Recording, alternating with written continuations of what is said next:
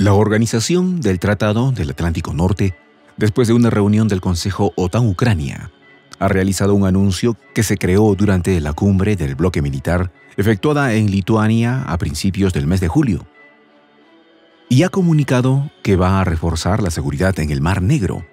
Pero lo verídico es que todo esto viene dado tras Rusia declarar amplias partes inseguras para la navegación en dicho mar. No obstante, todo ha sido más que un alarde de la OTAN, que al ver la superioridad de la Federación, lo único que les queda es tomarse de las manos sus integrantes y de rodillas ponerse a rezar. Los detalles, a continuación.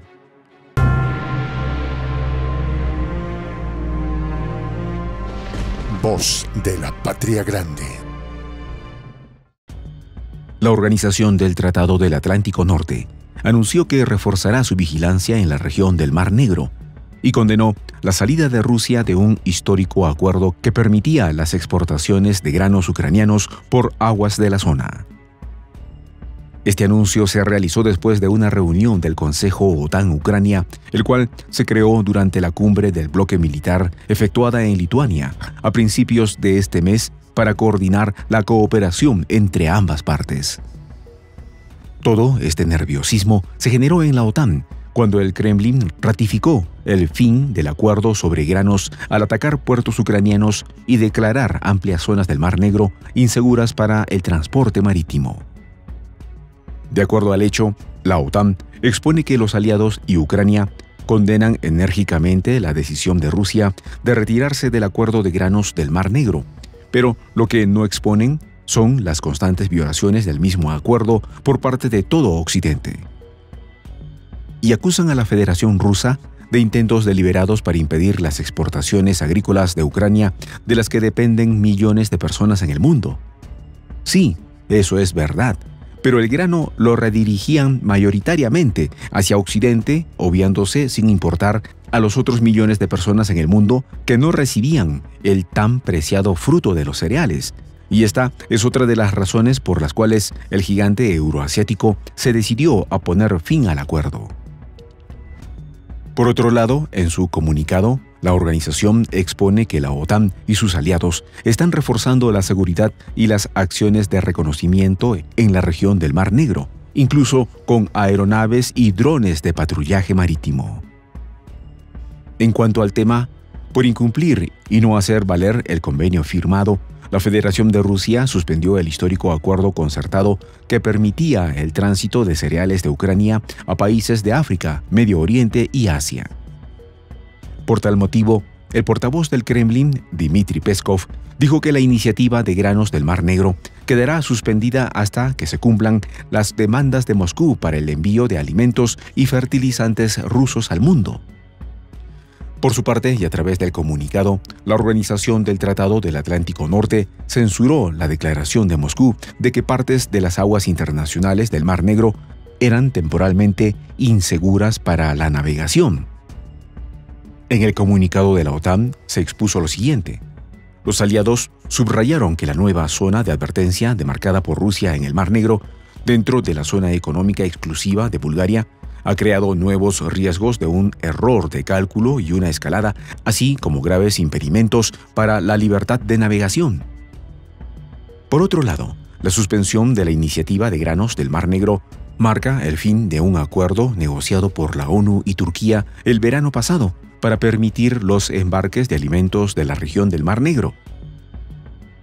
Este acuerdo se pone en vigor después de que la operación militar especial de Rusia en Ucrania se agravara e incrementara la ya existente crisis global de alimentos. A la iniciativa del acuerdo se le atribuye el haber contribuido a reducir los elevados precios del trigo, el aceite vegetal y otros productos alimenticios de consumo mundial.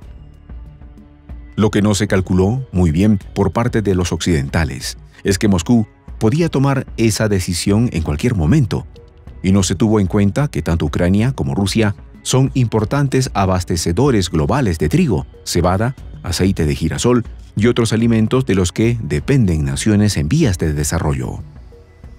Ya con anterioridad, el ministro ruso de Exteriores, Sergei Lavrov, había acusado a Occidente de utilizar la crisis alimentaria y los intentos de culpar a Rusia de la misma, para introducir las fuerzas navales de la OTAN en el Mar Negro. Sergei Lavrov explicó que algunos de los esfuerzos de los occidentales para vincular el tema del suministro del grano y fertilizantes rusos al mercado mundial con el desbloqueo de los puertos ucranianos pretenden ocultar sus planes. Y dentro de estos está el que siempre han tenido, que es introducir las fuerzas navales de la OTAN en el Mar Negro y crear un mecanismo de exportación del cereal que sería controlado por la Alianza Atlántica, algo que la Federación no les ha permitido ni les permitirá hacer. Según el ministro ruso, desde hace bastante tiempo, Rusia y Turquía, que cumple plenamente con la Convención de Montreux de 1936, que regula el paso entre el Mar Negro y el Mediterráneo, sugirieron mecanismos para resolver la crisis alimentaria creada artificialmente de manera bastante indolora por todos. Y expuso que los intentos por parte de Occidente de crear esta crisis deliberadamente son inadmisibles y lo manifestó de la siguiente manera.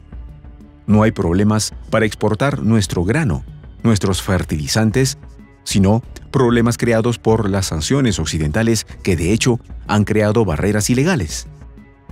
Por otro lado, el mismo día que se decretó el cierre del acuerdo del grano, se realizó un ataque subversivo contra el puente de Crimea y Rusia ha tomado sus iniciativas donde ya ha destruido almacenes de armas occidentales en Ucrania utilizando misiles de alta precisión.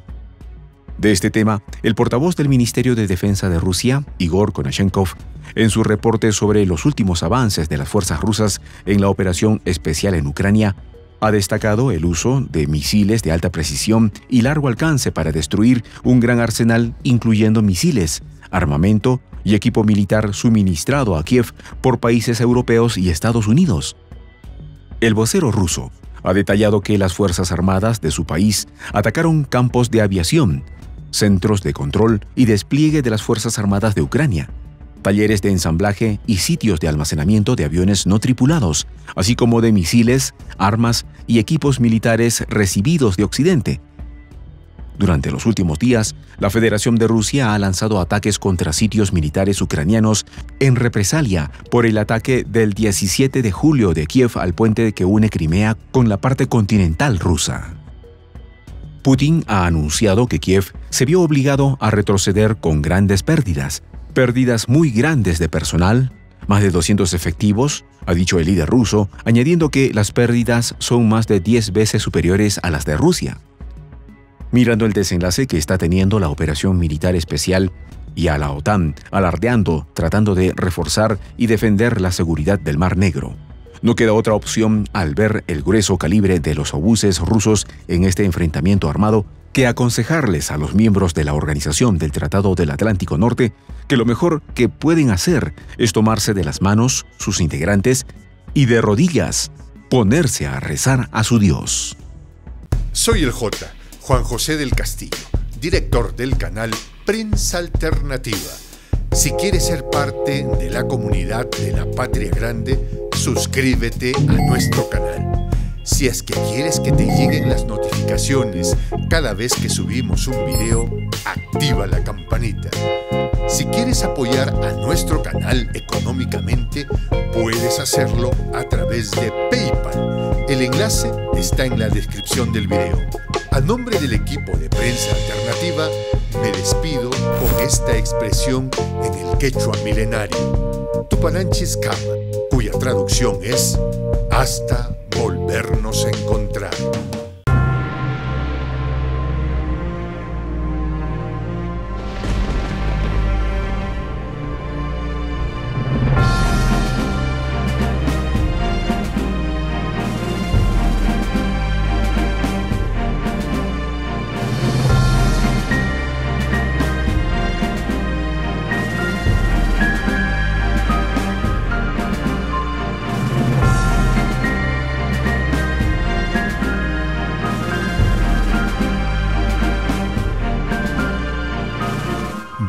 De la Patria Grande.